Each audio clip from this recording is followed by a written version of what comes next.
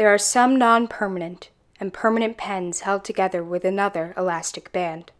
Everyone's pens just disappear on tour, and no one can ever figure out where they go. It's paranormal. We never use permanent pens on our maps if we can help it. If markings don't rub off when finished, the map becomes cluttered with smudges and stains, and eventually it becomes difficult to read important features. It ruins the map case too, so we write grids and distances on our gloves, sleeves, and forearms while pinned down. But we sometimes only have a permanent pen. Then, when we make it back to the compound, our gloves look like pages of numbers. We tattooed our forearms under the hail of messages and prayers.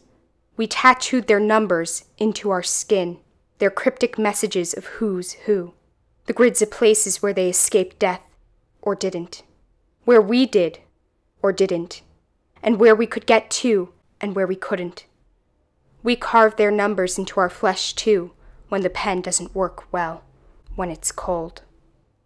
We carve them in and wash them off, but we do not draw on the map. Let's see their fucking map.